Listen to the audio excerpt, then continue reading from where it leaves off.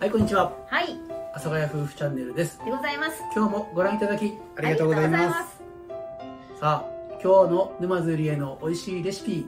タレシリーズ今日はこれも簡単なんです。うん。題して鶏、鶏タレそぼろお丼じゃなくて？でもう丼にしたり、まあいろいろできるよっていう、まあとりあえずそぼろ。ろを作りたいなと思っております。アレンジの本見せていただけるんでしょうか？あ、そうでございます。楽しみですね。では行ってみましょはーい。う。はい、では作っていきます。はい、なんか材料少なめですね。そうもう あの作り置きの作り置きね、作り置きのタレでうん。作り置きのそぼろ。でヘルシーに鶏肉のひき肉うん。やっぱり鶏のね胸肉のひき肉なんですけど油が少ないから冷蔵庫で保存しててもなんで硬くなりにくい特徴があるので私はいつも胸肉のひき肉でそぼろを作っています。さあお鍋にね直接フライパンでもいいですよ。これちょっと深めのフライパン。もうドンと入れてお酒を入れます。はい、入れた。た。そしてあとこれね。まだこコンロにもかかってないよ。かかってないね、状態でもうどんどん入れちゃうんですね。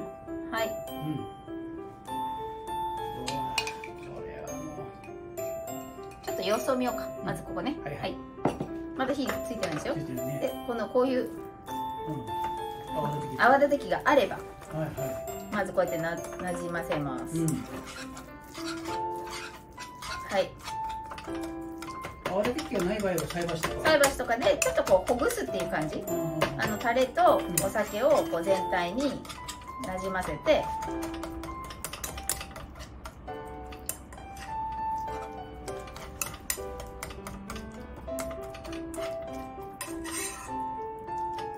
こう火が火が入るとねこう固まってほぐしにくくなっちゃうだからあらかじめここで火入る前にこうやってほぐしてあげると結構そぼろがね簡単にできますじゃあ火ここでつけますよはい。あ確かに胸肉のひき肉ってすぐ火通りますよね。そうそうそうだかららダマみたいになっちゃってね。慌ててこうする間にね あちちとかでゴロゴロしちゃうから。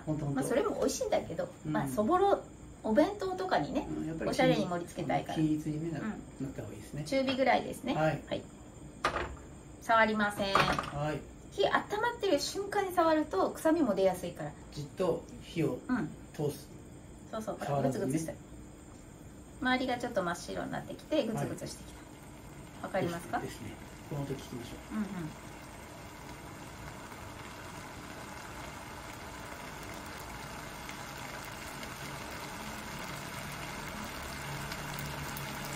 聞こえた？う。聞こえてます。ででここで初めて触っていきまはい。すもうなんか混ぜ混ぜこんな感じ。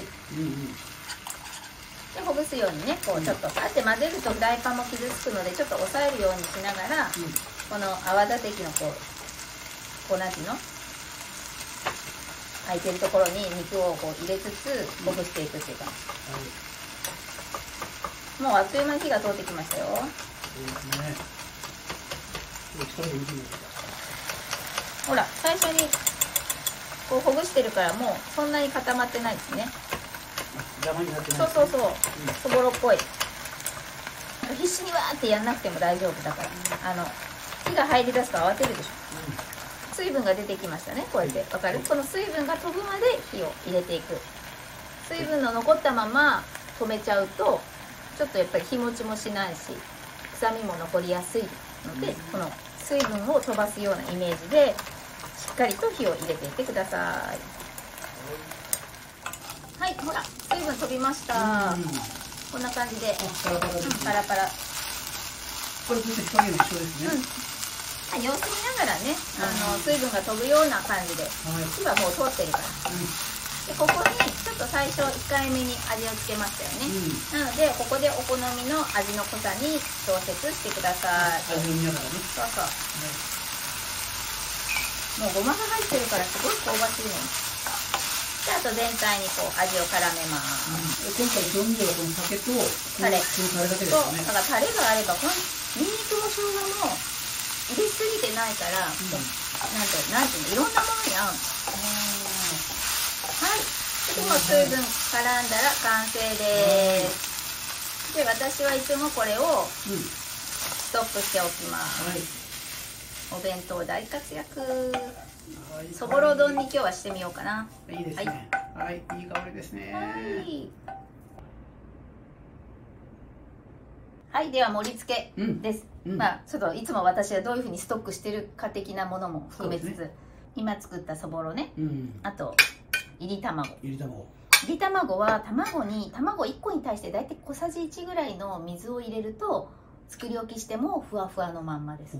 結構ポイント。うん。あとこうやってナムルはよく作っています。もやしと人参とほうれん草、うん。基本ごま油と塩だけで大丈夫。これちょっと醤油が入ってるうんうん。でこれねそぼろ、うん。だから和風にも中華にもとかいろいろできるっていうことを私は今日伝えたかったんだけど。これ今何作ってるんですか？二色丼。いり卵とのセット。はいはいはいはいうん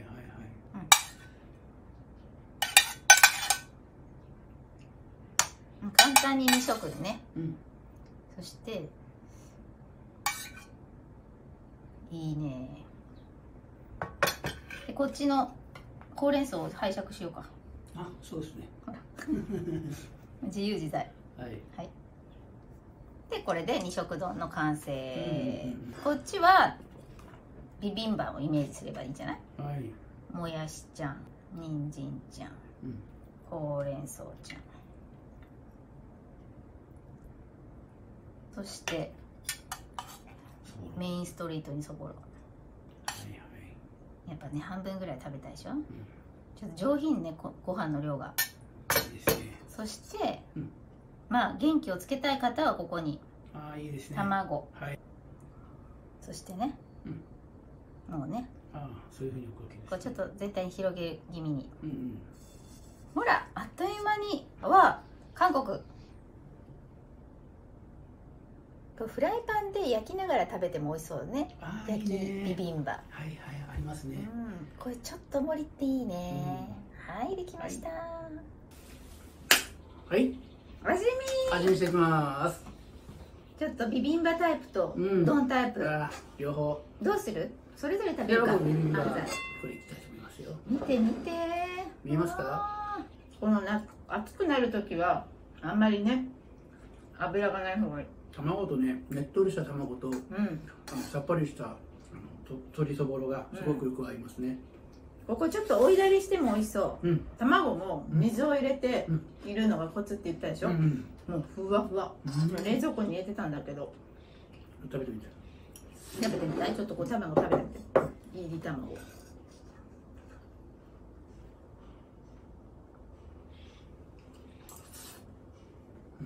ふわふわでしょ、うんちょっとしたコツなんだけど、うん。お酒とか入れる必要ないの。水でいいの。うん。本当にあの作り置きする時はちょっと入れるともうふわふわ。鶏そぼろが。であのタレがまたいいね。うん。なんか普通の甘辛とまたちょっと違う感じ。うん。うん。美味しいね。これ止まんないね。うん。美味しいね。タレにごまが入ってるからまた香りもいいんじゃんうん。うん食べ過ぎ危険。うんうんうんあとじゃあこれは止まらなくなるので。ないよもうそぼうん。さっぱりしてる。すごい勢いで食べてます。さっぱりコクありだね。うん。美味しいです。ぜひね鶏胸肉のさっぱり感でちょっと試していただきたい、そうですね。うん。ぜひぜひすぐに火が通るしね。はい。はい。というわけで、はい。今日もご覧いただきありがとうございました。阿佐ヶ谷風チャンネルでした、はい。また明日。明日。あーうまいうまい鶏そぼろそう。